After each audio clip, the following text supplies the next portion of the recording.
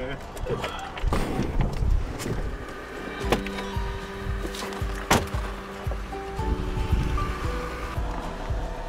What do you think? Needs work.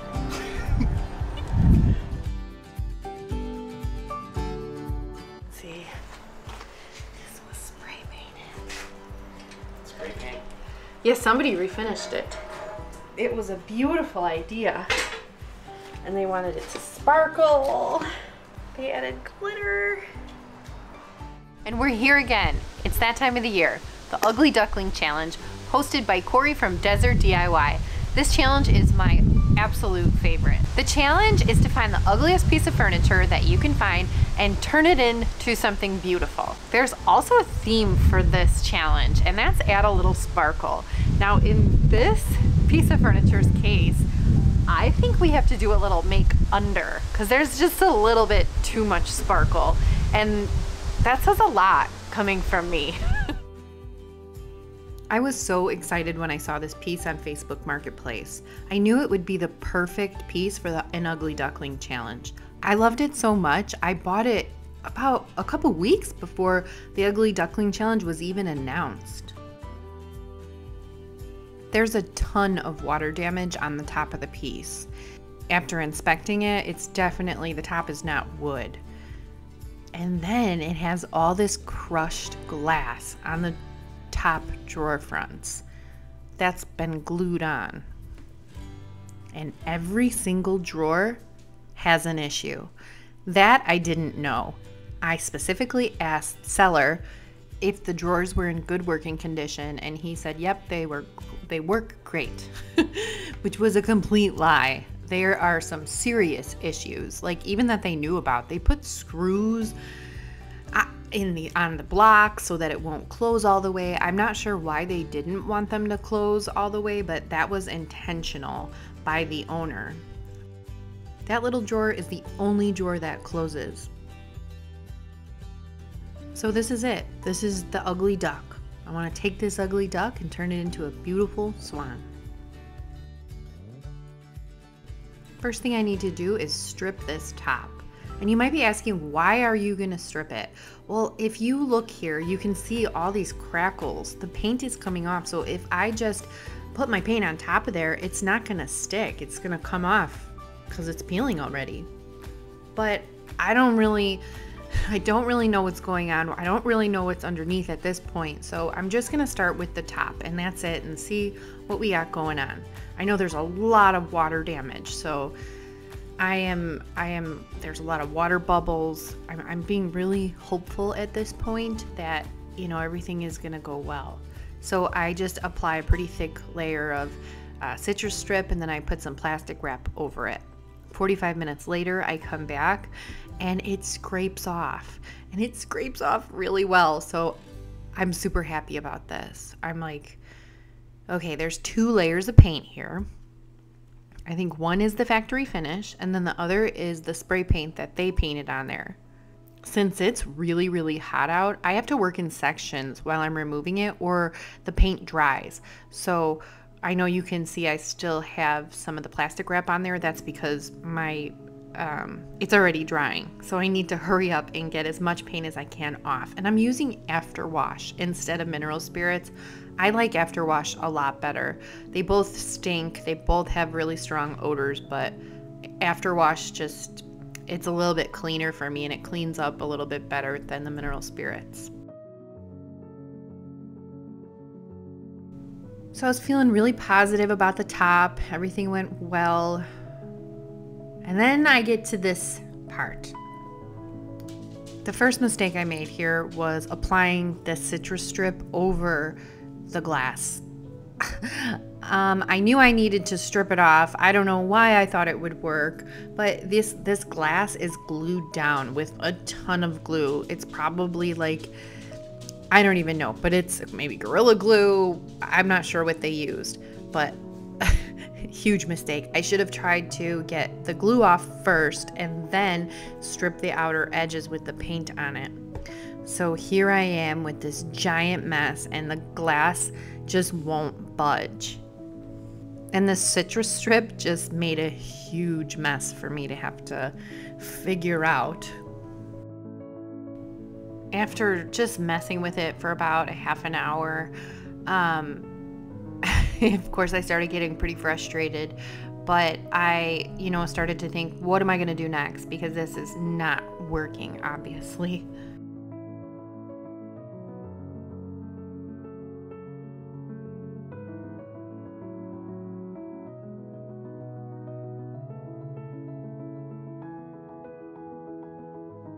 So finally, after an hour, I think what removes glue? Denatured alcohol. So I grab the little bit of denatured alcohol that I have left and I let it soak on the drawer front. And once it's soaked in, I come back with a real scraper, a paint scraper instead of a putty knife, and I just I just start going for it and thankfully it starts to come up way way easier than before.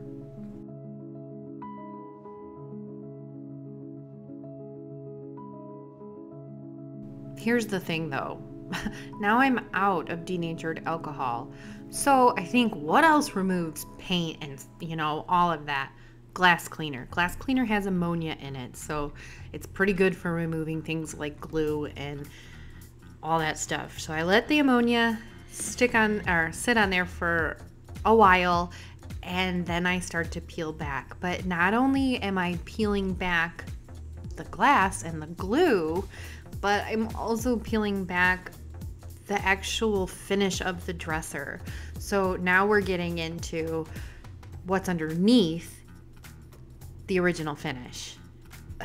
And it's not wood, you know? So I already know I'm in trouble, but at this point I'm really frustrated and I just want to get this glass off. And I have to be careful because it is glass, so it's sharp. I just Never. I always thought, no, crush, crush glass would look really pretty on something. Never. I'll never use it on a piece of furniture ever. Never. Not after this. I just keep at it until all the three drawers are finished, and this is what I'm left with. I'm just kind of feeling upset with myself that I got myself into this, but I don't know, I still have a little bit of confidence that I can fix this and that it doesn't have to be as hard as I'm making it. I feel like I haven't done much and I'm about four days into the project. So I decide to work on these little appliques and I was gonna strip them off because, you know, they were chipping and if I paint over it or try, I can't sand it. So I just figured I'm gonna have to you know, strip it. And halfway through, nothing wants to come off. It's a mess. I'm like, you know what? I'm not doing this. no way. They got to come off. So I start with my scraper and I just I just pluck it off. I'll put something else on there. That's what I'm thinking in my head. We'll cover it with something else. I have wood U bends. It'll all work out. But I'm not going to do this to myself. Not for another day. It's kind of nuts. So once I get it off, I have to take all the screws off. There's like a hundred tiny little screws and there's a lot of uh, glue. They were glued on, so I'm gonna have to remove that too.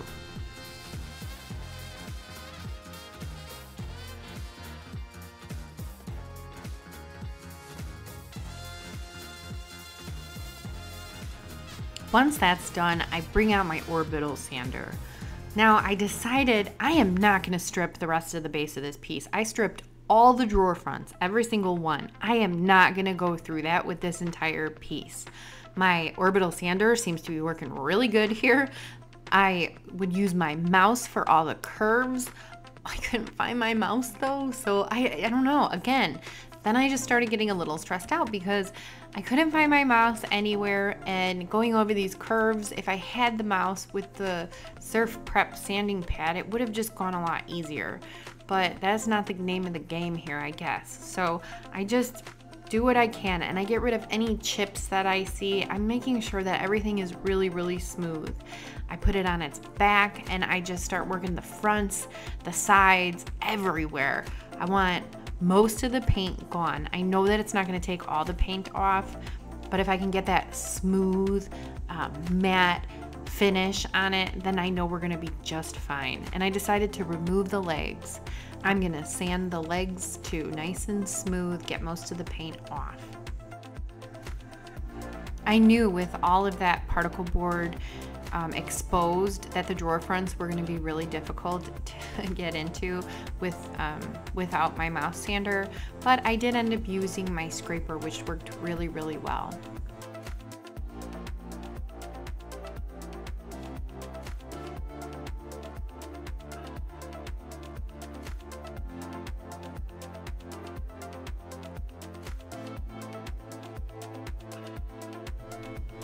And as for all the water damage on top, oh, I was so happy. I didn't have to carve it out like you do sometimes when there's bubbles that won't come off. This, it came right off with my sander. I only used, I had 120 grit and it came off so nice and sanded really, really smooth on all the bubbles. There were like, I don't know, like 40 bubbles on the whole thing. And then I grabbed some plastic wood, um, wood filler, and my plastic wood was a little dry, which worked out perfectly so that I could fix the dents in the trim. And then I, you know, I ended up adding a little bit of water to my plastic wood so that I could um, bring it back to life. And then I started on my drawer fronts, and everywhere that the soft particle board was exposed, I did add some wood filler to it. I just smoothed out the wood filler with my glove and then once it dried, I sanded it as smooth as I could get. I will say there's one drawer, actually two drawers that didn't, I didn't sand perfectly. So they do have some texture on them still, but I did try my hardest. And then I used um, the spray shellac on all the drawer fronts so that I could make my life really easy. I just happened to have it. With this project, because it's not real wood, I don't want to put any more money into it than I already have. So I'm using what I have. And I have this shellac that I'm going to use with one of my little Dixie Belle sponges that I just cut up and I am going to cover it with the shellac. I do two coats and I spray the drawer fronts with two coats. Now I'm using the shellac because again, it's not wood, it's particle board, and I need there to be some kind of shell covering because I don't want to have water damage. And if I went right over it with a water-based primer instead of shellac, which is alcohol-based, then it would have just gave it water damage again. So while I'm waiting for that to dry, I come into the insides and I'm like about to start working on these drawers. And why did they put these blocks in? This isn't how the dresser was made. These are not there for supports. These are there so that the drawers don't close. For whatever reason, they didn't want their drawers to close and they thought that was right. When clearly it was not right. The drawers were in such bad condition. Every single drawer needed something. So I had to bust out until it worked, I had to go through each and every drawer and bust out some of those, take them off the wooden blocks. Um, and it was a hundred degrees on this day. So I was just like so over this project. This project, I, I'm like well in a week into this project by now.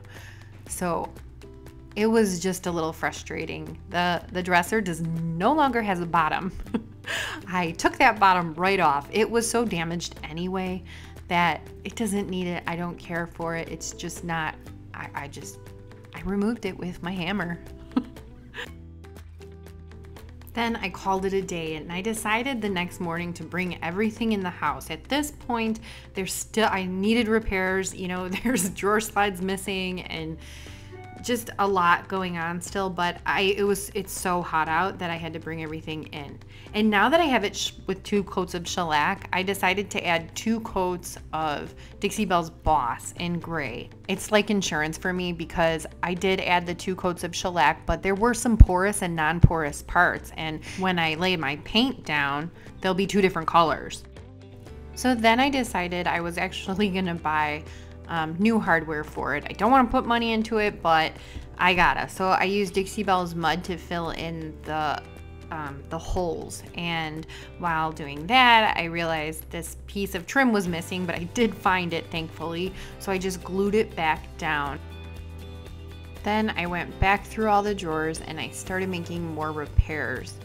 Um, a couple of them were missing the rails, so I put those back on, and that, that's pretty easy. I'm so glad that they all fit and there were no issues with that, but um, every drawer did end up having an issue.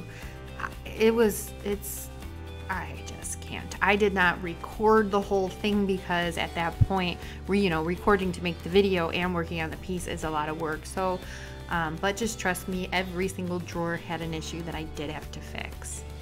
And I wanted to show you here, I did put the Dixie Belle mud on, but once it dries, I, I end up putting a second or third coat on every time because when it dries, it sinks.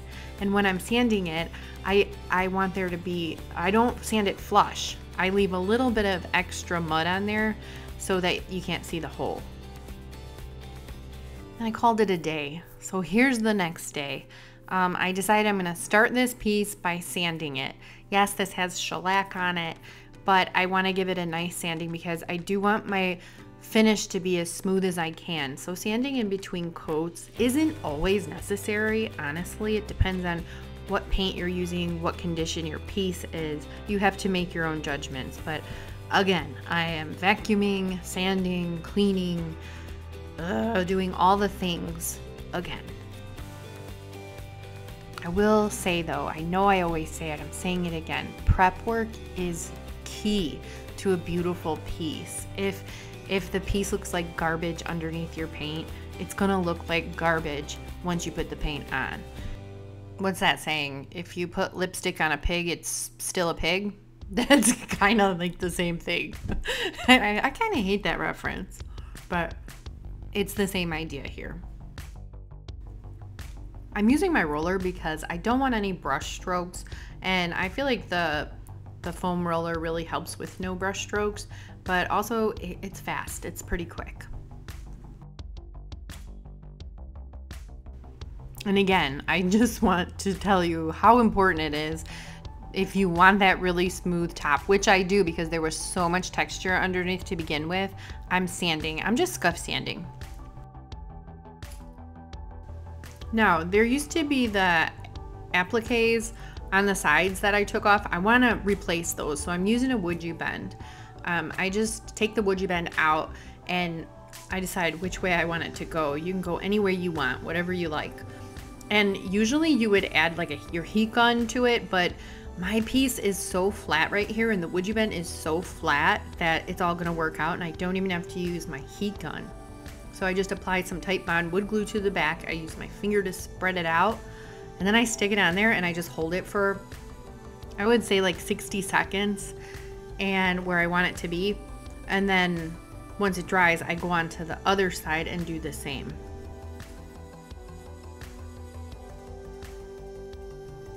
And after about 15 minutes, the wood is mostly dry, but not all the way dry. I don't let it dry all the way. Then I take a brush and I take my water mister and I just clean up all that glue. And if you just wash your brush afterwards with some soap, it'll be fine. Now for the good stuff. I'm using Dixie Belle Silk. It's an all-in-one paint in Midnight Green. I've never used this color. I've had it for a while. I, I completely forgot I had it. Um, but it is gorgeous. I'm using my roller again because I I want to avoid the brush strokes and I'm only, I'm not blending or anything. So when I'm not blending, I think the roller is perfect. If I'm not using multiple colors, um, if I'm only using one color, I love the roller. I will say I'm not sure. I do think it is because of the roller because I had this little um, this little brush I was using for to get in some detailed spots and it did take four coats with the roller, which is very unusual. Usually it's like two coats and then maybe one with some touch-ups when I use the brush. But because I used the roller, I did have to add four coats, but I still have a quarter of the paint left. So it, I mean, it all worked out in the end. And then for the top. Ideally, if it was a wood top and I was using this midnight green, I would have went with like a dark walnut or maybe even an espresso because look at how dark that green went. So I wanted the, the top to be really, really rich. Um, so I used Coffee Bean by Dixie Belle in their chalk mineral paint line. This, I can use my water mister to take out any of the brush strokes, but also, you know, using the water mister and the roller there were no brush strokes and my finish because I did all that work in prepping and and sanding and sanding it came out it's so good. it came out flawless. And then I go back to putting the drawers in and I see again all these little yuckies that I kind of wanted to forget about. I have to fix them. So that's what I did. I don't know what all this gunk is, but it's in there. It was like glue. Now I'm using a redesign with Prima transfer called Beautiful Things. I chose this transfer because of the colors. I a couple weeks ago I was at Sarah's Sarah B's Busy Hive. It she is an elite Dixie Belle retailer and um, she sells redesign with Prima transfers and she's in LaGrange uh, Park, Illinois. I was at her shop and when I saw this, I knew I needed it. I just, the colors are so rich and vibrant. And then I really didn't know what base color I was going to use with it or if I was going to blend or what. But I'm telling you, when you have these gorgeous, rich flowers, using a gorgeous, rich green and a gorgeous, rich brown, you cannot go wrong. You can't. And nature says so. Because think about when you're looking at a bouquet, when you have all the bright colors, with, of course, then you have your stem, you know, uh, your leaves, your brown and your greens. You just, and I always decide which brown and greens or blues or turquoises based on the color of the flowers I'm using. So if these were pastels and not those like royal rich colors, if they were pastels, I probably would have went with like a softer green. Um, but this all worked out so well and I was so happy that I had the products at home besides the transfer. When I saw that transfer, I knew, I knew it. I just was, I fell in love. So I take the transfer off the backing paper and I'm just gonna work in little sections because I have all of that trim. Um, you know, I just wanna be really careful of not ripping up my transfer.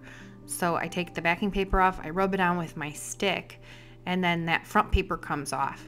And then once it's on there, I use my burnishing pad uh, just to try to get rid of that halo, make sure that there's no bubbles, there's no air underneath the transfer, um, the pad actually takes the air right out. Once I have my transfer on, I want to seal the piece and I'm using Dixie Belle's clear coat in satin. I use my sprayer for the clear coat because I don't want streaks. I just, it's so easy um, for me to apply the clear coat with the sprayer, even indoors. I applied a total of three coats of the sealer on the entire piece, including the top. I waited about two hours in between the coats. That's pretty important. You don't want to put um, your sealer on while it's still wet. You want to let it dry for a while, you know, make sure everything is real hard and good, and then you're going to apply your next coat. And then I remembered I didn't even paint the feet, so I'm using the coffee bean on the feet. Um, I just applied two coats and waited for it to dry, and then I sprayed them with my sprayer and then put them right back on. At this point, I'm moving right along with this project, and things are going so much smoother. Um, I'm feeling good about it. Everything's coming together, but man, that prep work, that prep work took two full weeks to get it right. I drill new holes for the new hardware. Now you could have done this a while ago before you even added paint, but I was so indecisive on what I was doing with the poles and stuff, so it did take me a little longer, and I, I feel confident at this point that I wasn't going to mess it all up, so I end up putting on the poles last, one of the last. Now here's where my sparkle and my shine comes in. I'm using Dixie Belle's uh, gilding wax and bronze on the wood U bends. And then on the front I have these little handles here. They just don't quite match the other handles. So I add a little bit of gold sparkle to the front. And here's a reminder of what we were working with. And here it is today. This project was quite the experience. It tried my patience, um, we had our ups and downs, but I think overall it turned out pretty beautiful. There are um, a couple things that I Wish turned out better. Like one of the drawers, there's some texture on it that drives me a little nuts, but the way it was at the beginning to what it is now, I'm pretty happy. The top is so beautiful. The top really makes it, it, it looks like butter. I want to say thanks to Cory for hosting this and be sure to check out the playlist in the description box down below to see all the other participants. I'll see you next time.